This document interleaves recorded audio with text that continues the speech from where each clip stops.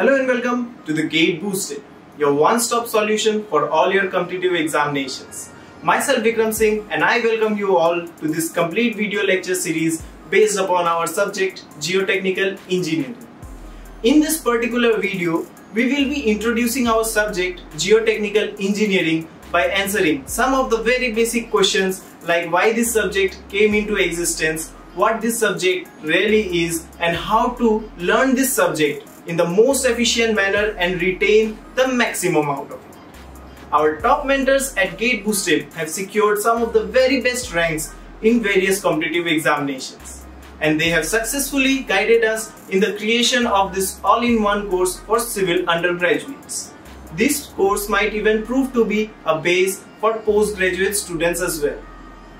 Coming back to our introduction of the subject Geotechnical Engineering, we come to know that it is one of the youngest discipline of one of the oldest branch that is civil engineering. Civil engineering came into existence from the prehistoric times. From the times we humans started making homes for shelter and road for transportation of goods. Civil engineering deals with the construction of structures like roads, bridges, buildings, dam, tunnel or even water supply system. And all these structures have to be rested upon a strong foundation. And this foundation have to be built upon the ground surface or deep inside the ground surface. But often the ground surface we live upon is not as safe as we would like it to be, as it might undergo failure due to shear excessive settlement or non-uniform settlement. Due to this lack of knowledge upon the behavior of earth material like rocks and soils, it has led us to many major failures of structures in the past. Problems and disaster like Leaning Tower of Pisa forced scientists across the world to adopt a more scientific approach towards the study of behavior of earth materials under the name geotechnical engineering and hence our subject came into existence. During the 18th century, various great scientists like Coulomb, Darcy, Mohr, etc. contributed a lot towards this field, but most of their works were purely individual. It was Sir Terzaghi in 1925 who accumulated those works of great scientists and published the first book of soil mechanics. He even carried forwarded their works towards the development of foundation engineering which is the heart and soul of this syllabus. Foundation to a structure is like a root to a tree and hence he was awarded with the recognition father of modern geotechnics. In our next point, we will be discussing about the role of a geotechnical engineer and what are the content of this course along with its weightage across different competitive examinations. Each soil site is unique as it might differ in grain size, behavior or strength and stability. A geotechnical engineer uses those fundamental properties of rocks and soils to investigate the ground surface and predict its behavior. They identify both the existing as well as future potential hazards and provide a sustainable as well as economical solution to various practical problems. In short, geotechnical engineers are the doctors of rocks and soils. Now let's have a look at our course content and its weightage across different competitive examinations. Our subject, Geotechnical Engineering, is subdivided into three subcategories. First is Geology. Geology is the science of earth origin and its constituents. It is not a part of any other competitive examinations other than ESE, but it will be available in our different playlists under the name Geology Gate Boost. Next comes rock engineering. And rock engineering is a part of masters in geotechnical engineering. And it will be also available for all those curious minds out there who want to learn this subject. The third and most important area of our concern is soil engineering. And soil engineering is bifurcated into two parts.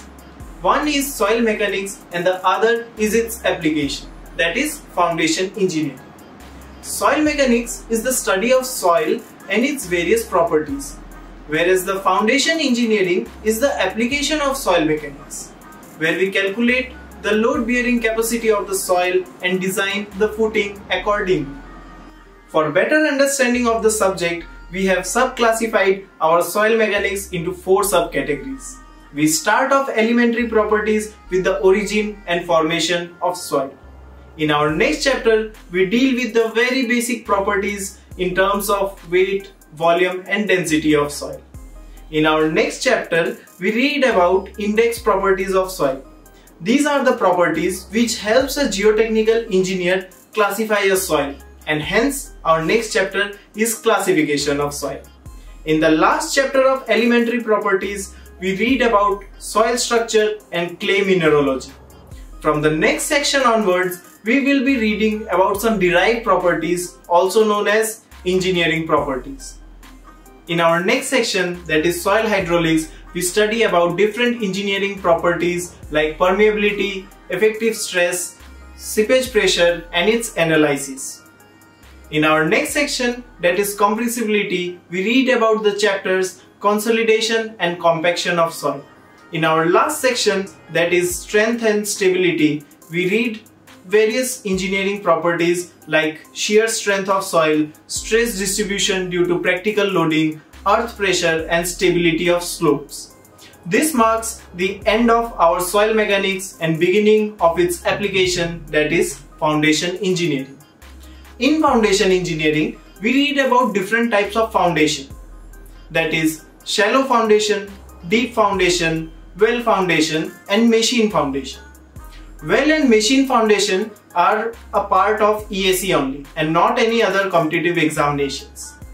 After foundation engineering, we are left with some miscellaneous but very important topics like soil exploration, sheet piles, use of geosynthetics and some principle based upon ground modification techniques. So that was our syllabus for geotechnical engineering and now we are left with one more topic that is well hydraulics and it will be taught under the subject hydrology.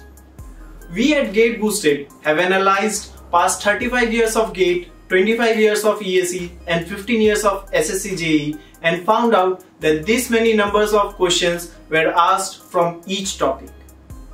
In GATE, you can expect anywhere between 15 to 18 marks from this subject. For ESE prelims, you can expect anywhere between 40 to 50 marks and for SSC, you can expect 6 to 8 questions each year. Its weightage used to be even higher in the past, but it is now regulated to give each subject its own importance. So that was our introduction to the subject geotechnical engineering and now we will be sharing some precious tips on how to deal with this subject in the most efficient manner. The best way to prepare this subject is to read the relevant theory, make notes, short notes and practice questions from different competitive examinations. We at Gate Boosted aim to boost your preparation by providing you the notes, short notes as well as solution to various competitive examinations. We will also recommend you to join as many test series as you can and practice more and more questions. It will help you expand your knowledge as we all know practice makes a man perfect. Regarding books, you can either follow Basic and Applied Soil Mechanics by Gopal Ranjan and ASR Rao or Soil Mechanics and Foundation Engineering by Dr. K.R. Arora. The links of those books are provided in the comment section below. So that was all for this informational video. Don't forget to like and subscribe if this video was helpful for you. Stay home stay safe Jai Hind